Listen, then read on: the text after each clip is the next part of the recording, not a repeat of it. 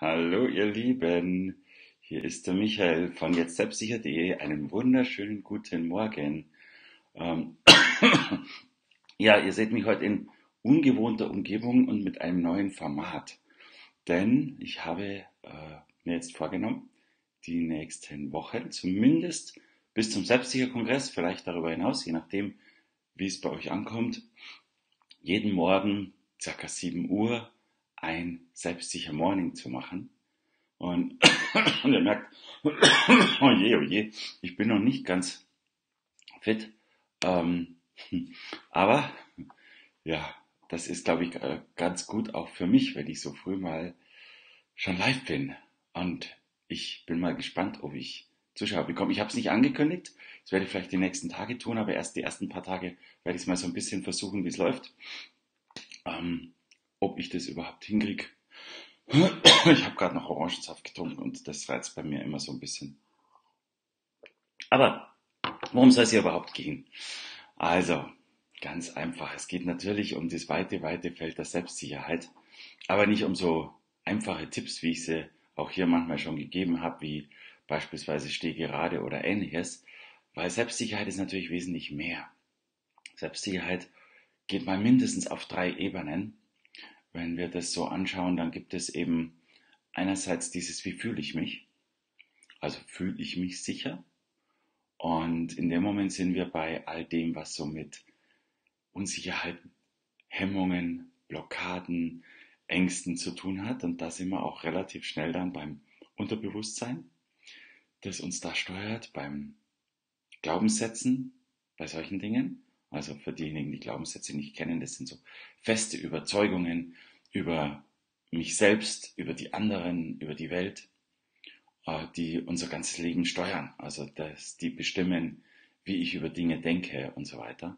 Das sind Glaubenssätze. Und also das ist das eine, dass wir eben dieses, wie fühle ich mich und, und da sind wir beim Unterbewusstsein. Das andere ist auch, wie wirke ich denn nach draußen? Und ich, das ist ja das, was ganz, ganz viel, für ganz, ganz viele im Job zum Beispiel wichtig ist. Nehmen mich andere ernst? Nehmen mich andere wahr? Halten mich andere für kompetent? Kann ich andere überzeugen? Kann ich andere gewinnen?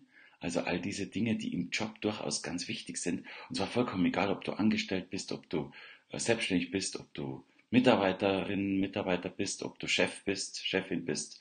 Ganz egal. Es geht immer darum, wie werde ich von anderen wahrgenommen? Und werde ich ernst genommen. Und ja, wenn jemand unsicher wird, wirkt, dann trauen wir dieser Person automatisch auch weniger zu.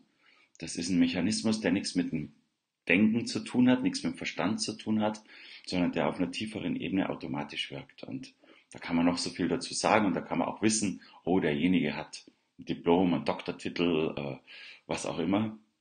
Nein, das alleine reicht nicht. Wenn jemand unsicher wirkt, dann kann er noch so viele Titel haben und noch so viel Ausbildung und noch so viel tatsächliche Kompetenz. Es kommt nicht beim anderen so an.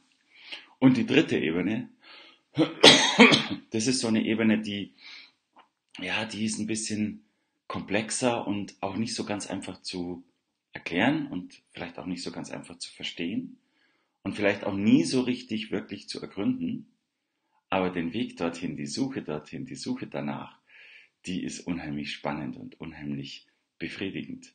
Und ich rede von so einer Art ja, spirituellen Ebene, von einer Ebene des höheren Selbst oder überhaupt des Selbst. Da gibt es so ganz viele Bezeichnungen drüber. Und die Frage ist ja die, hm, ich habe als erstes von dem Unterbewusstsein gesprochen.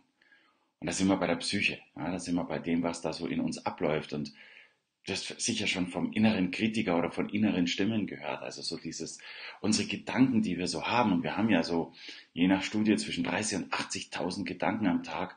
Und äh, einige davon sind uns bewusst und ganz viele sind unbewusst. Und permanent sind wir am Denken.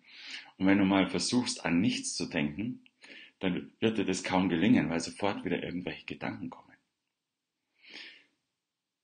Nur das Spannende ist ja, wir können diese Gedanken beobachten. Wir können sie bewerten. Und das sind komischerweise nicht wirklich das gleiche wie diese anderen Gedanken. Diese Beobachtungen und diese Bewertungen. Und sagen wir mal so, wenn, wenn das da innere Stimmen gibt, die da reden, wer hört denn dazu? Und das ist so eine bestimmte Instanz, ein Selbst, eben nicht das Ego, nicht die, die Gedanken, nicht der Verstand, sondern das Selbst, das, das ist vielleicht das wahre, der wahre Kern von dir, das wahre Du.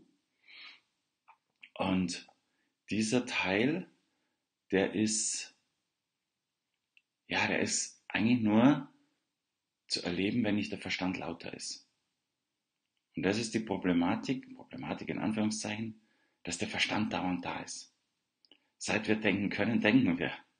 Und zwar permanent. Und an was denken wir? Wir denken an das, was früher war, was wir wahrgenommen haben, was wir abgespeichert haben, was wir uns gemerkt haben, was wir erlebt haben und schöpfen daraus eine gewisse Erwartung in die Zukunft. Das heißt, durch das, wie du geprägt bist, was du erlebt hast oder auch was du nur beobachtet hast, weil wir ja eine sehr starke Empathie haben, ähm, da reicht oft schon eine Beobachtung, dass daraus gewisse Gedanken in die Zukunft entstehen. Und diese Gedanken in die Zukunft, die erzeugen zum Beispiel Ängste. Also wir haben eine unbestimmte Angst vor irgendetwas, weil wir früher damit was Schlechtes erlebt haben. Sei es Ablehnung, sei es Peinlichkeit, sei es eine potenzielle Gefahr, meistens eine vermeintliche Gefahr etc. Und das sind die drei verschiedenen Instanzen.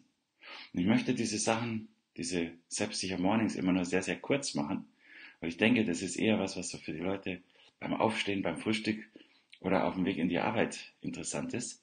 Und da hat man meist nicht allzu viel Zeit und es ist auf sieben Minuten gedacht. Und die haben wir jetzt auch. Und insofern freue ich mich, wenn du morgen um sieben wieder dabei bist. Ich bin wieder da. Bis morgen. Ciao, alles Liebe, dein Michael.